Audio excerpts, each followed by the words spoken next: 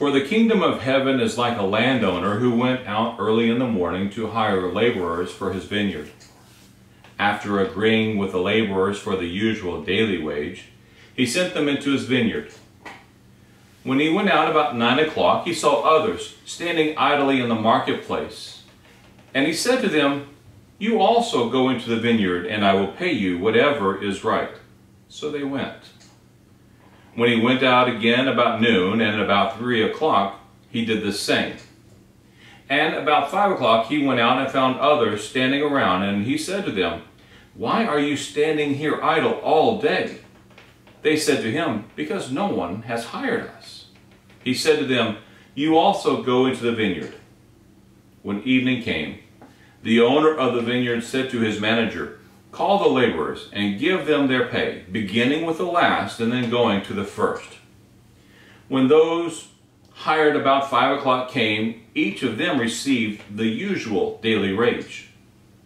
Now, when the first came, they thought they would receive more, but each of them also received the usual daily wage.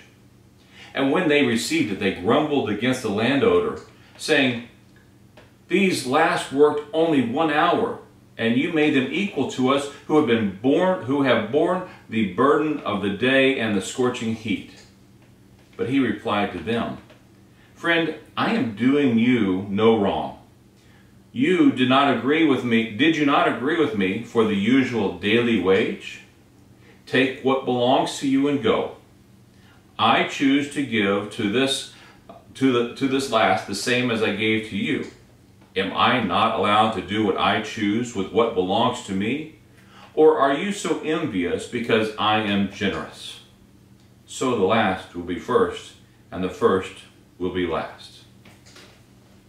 This is the gospel of the Lord. Praise to you, O Christ.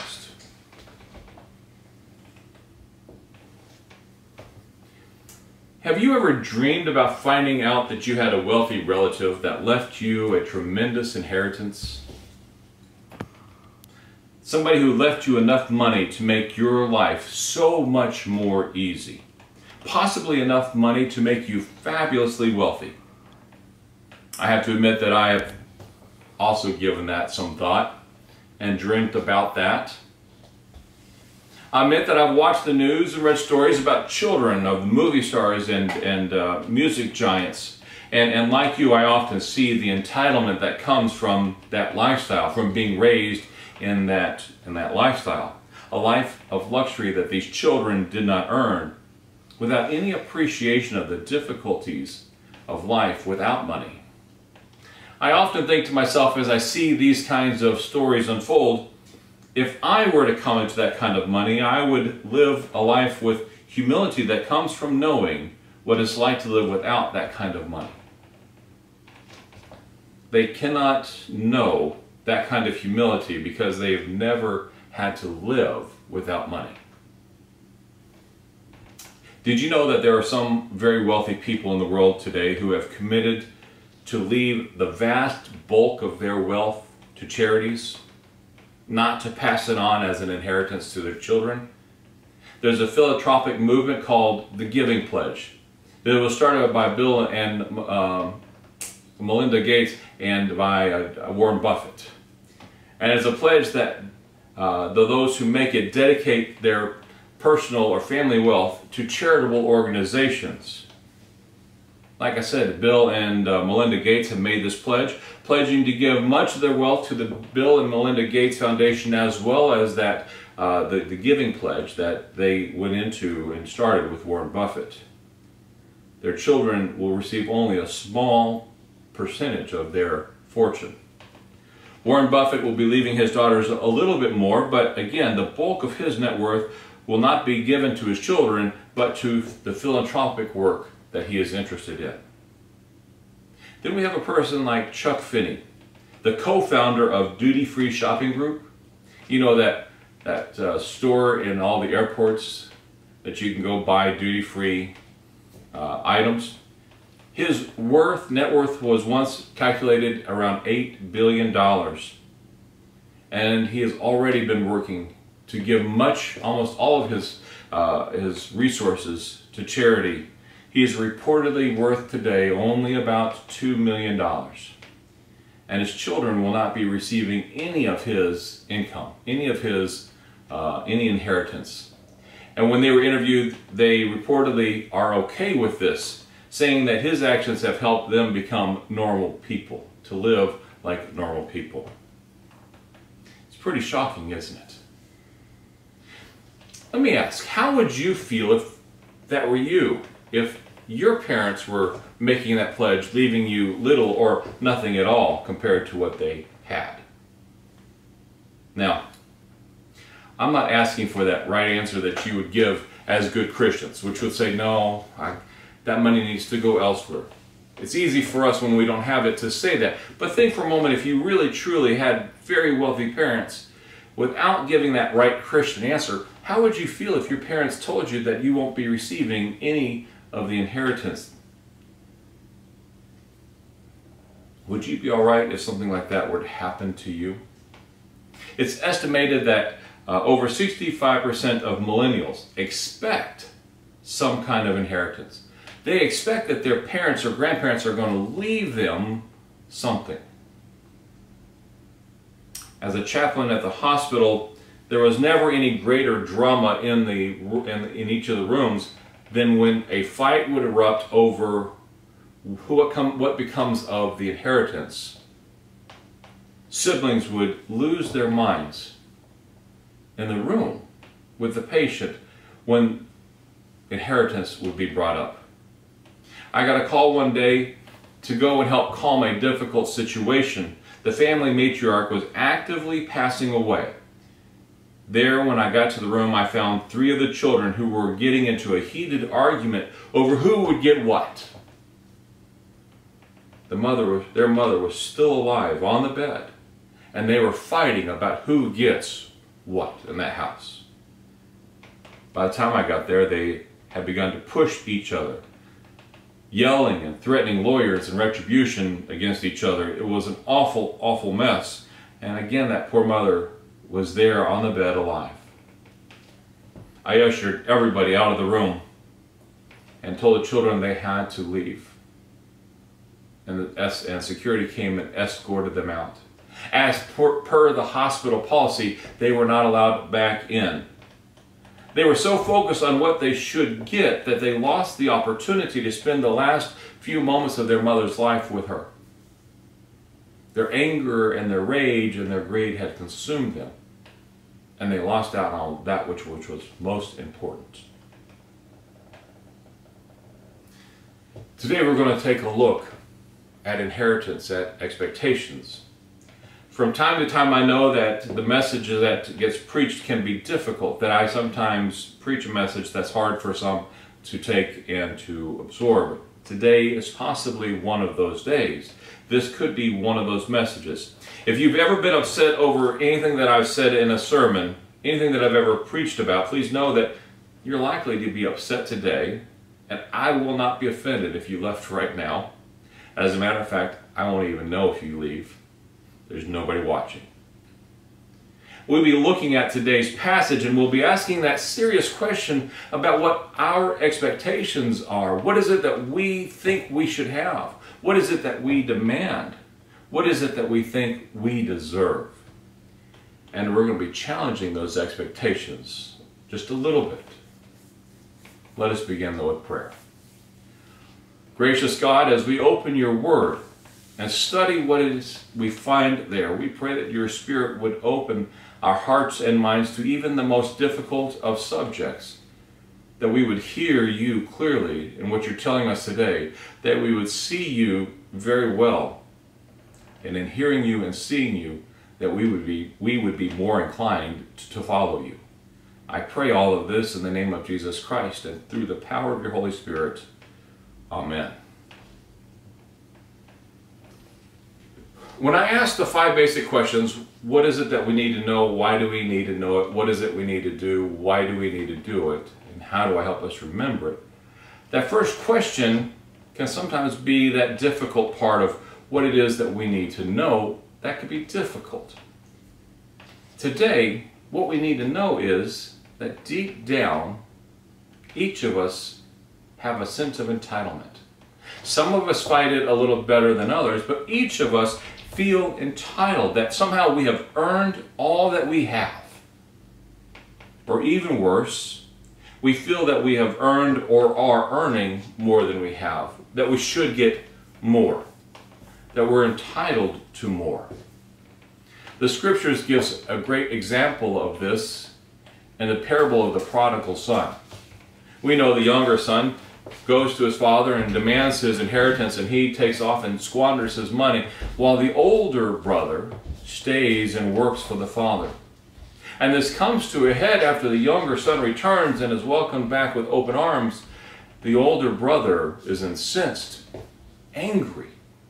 Having spent all that time there with his father, all that was left should be his. He should have gotten more than he got already, and all of that should be coming to him. He was entitled to what was there, to what was his father's. And like the older brother, we too fall into the trap that somehow we have earned all that we have. Somehow we have, we're entitled to what we have and more. We feel we should have more, that we have earned more or are working on earning more. And yet we fail to remember and to recognize that all we have comes from God. Our jobs, our education, our cars, our kids, the respect that we demand, our church, our worship structure, and church programs all come from God. Not only are all of these gifts from God, but our ability to own these things or to have these things are a direct result of where you were born and when you were born something that is completely 100% out of our control. Somebody who has great intelligence might say, hey, my own intelligence gave me what I've got. I was able to go to college and get a good degree and do good work. I've earned this, and yet fail to recognize that they have, number one, intelligence that was given to them by God, that they were born into a time and a place where that intelligence can be put to good use as a gift from God. Begs the question, how many very intelligent people have been born into very poor circumstances, awful situations, and could not use that because they could not get to a place to put it to use. You did not decide your blessing and your position. You were blessed with it. It was given to you all things truly come from God. The reason you and I are called to be stewards is that all that we have, all that we own, and all that we care for has been given to us for a short period of time. We only have it for a little bit of time, and then it goes back to God.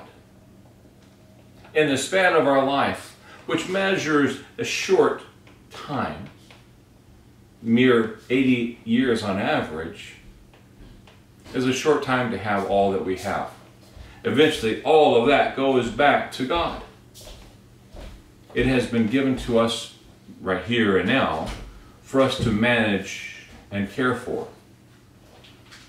If we take a look at Matthew 25 verses 14 through 30, we'll find there the story of the talents, of the master who was going away and called three of his servants in and gave each of his servants a large sum of money. A talent, a single talent, is worth roughly 15 years of labor. The wages of 15 years doing labor work. To the first servant, he gives five talents or 75 years worth of labor's wages. To the second, he gives three talents. Did I get that right? No. He gave two talents. And to the third, he gave a single talent. God gave, or the master gave the, the servants these talents and expected that they would put them to good use.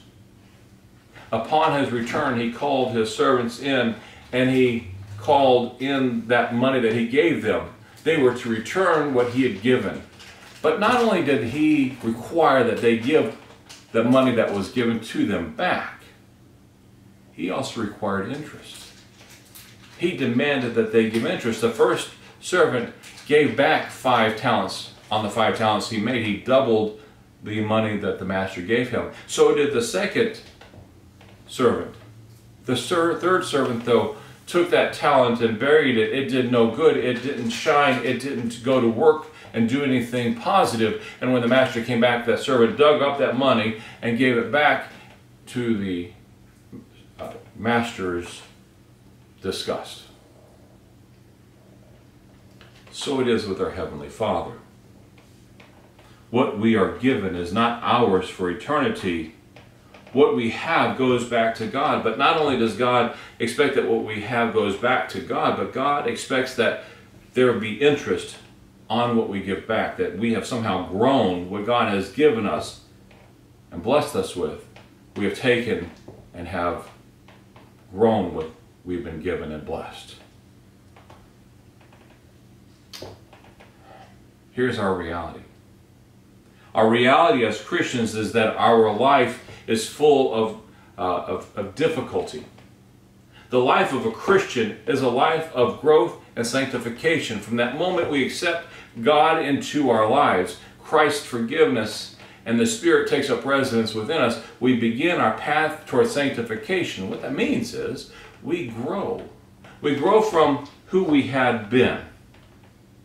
We grow from our nature, what is natural to us, and to God's nature, something that is not natural to us. And that path toward our true spiritual self is our path of growth and sanctification. It's difficult. It's not easy work. Every week, pastors and prophets all over the world call us towards transformation. This is never easy work. It's always hard and it's always difficult. I was told very early on that, that life is difficult and painful and that we are called to grow. And you know you're growing if life is painful because pain, uh, growth is pain. And you know you're not growing when you're comfortable. And if you're not growing, then you're dying. We're called to move. We're called to grow. And every week, pastors and prophets are putting out that call knowing that we're calling you into pain, knowing that this is difficult and not easy work to do. For most of us, this is extremely difficult work that we're called to do. For we all resist changing our deeply entrenched ideas and values that are ours, our firmly founded positions that somehow we deserve what we have that somehow all of this is ours and we've earned it. It's difficult for us to fight that entrenched idea that all of this is ours to control when the reality is that it is not. Scriptures today tells us that the laborers who went out and worked all day long felt it was unfair for the landowner to pay those people who came late in the day and only worked an hour and paid them the same wage and they cried foul. They were incensed that they didn't get more for working in the heat of the day and all day long. And it's interesting the way that the landowner called his manager to pay the last workers first to show everybody that they were all getting the same money.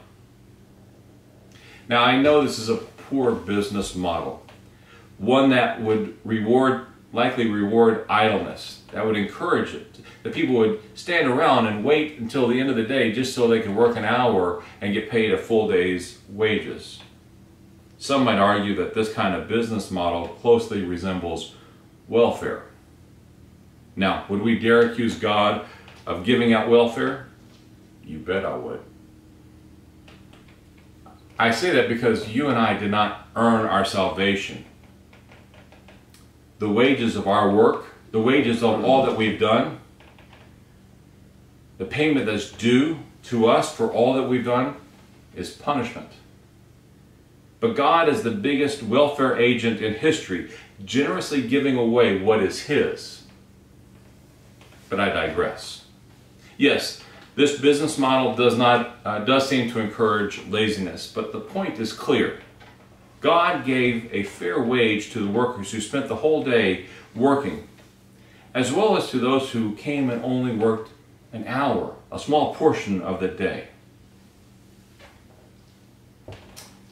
What this means for us is that it does not matter how long we've been here, how long we have been working, God gives to everyone a same portion.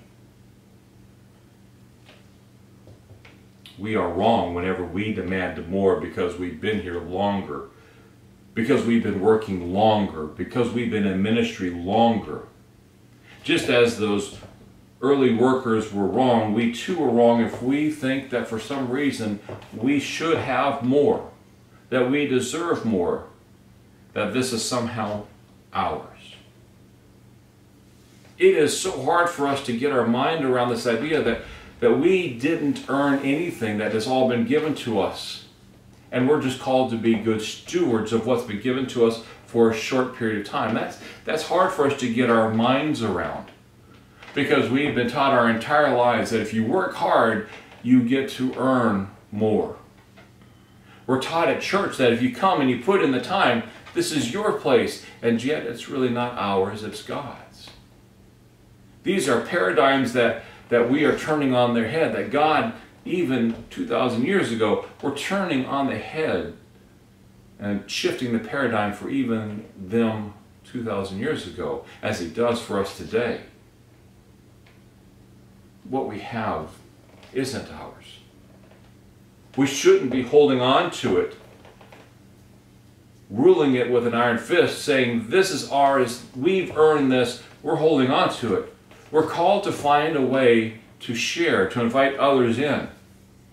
Oddly, and what's not part of the, the, the parable today, but oddly, we are called to be going out now, inviting people into the vineyard to work. And we're to be joyful that people, no matter what time of the day they come into work, get a full day's wage. We're to be grateful that what we have will be passed on to somebody else. And that somebody else will be coming in and taking over for us, just as we came in for somebody else and took over and carried on the work that I was doing. We um, didn't and are not doing the same work that was done at, Geneva 50 years ago. We are not doing the same work that was done in the church 100 years ago. Every generation comes in and changes the work that's being done, changes the, the, the, the direction and the dynamic of what is ministry and considered ministry. They change the style of worship and the music that is played and sung. And for us to hold on to it and say this is ours is not only wrong, it's inappropriate. We're merely stewards, and stewards can't claim ownership.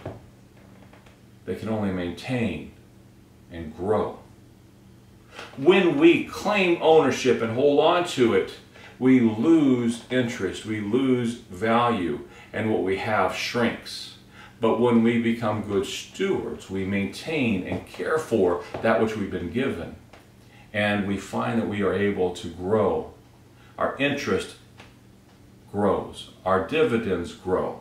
And when God comes back and says, I want what I've given you, we can give back what God gave us, plus we can say, and here's how it grew. Here's the interest in what we had. The church is a better place. The world is a better place. We did good with what you gave us.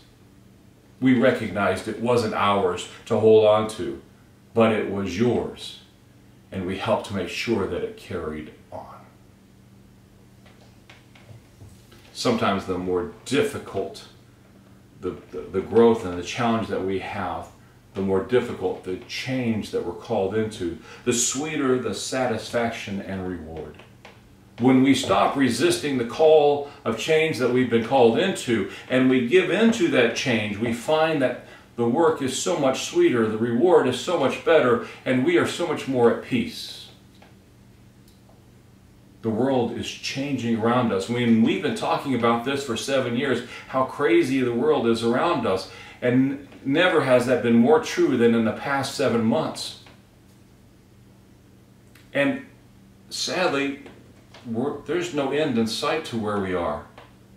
We are likely to be here six, eight, nine more months before we start to find a way to get back to some normalcy. The world is crazy. It is different. We've never lived through this.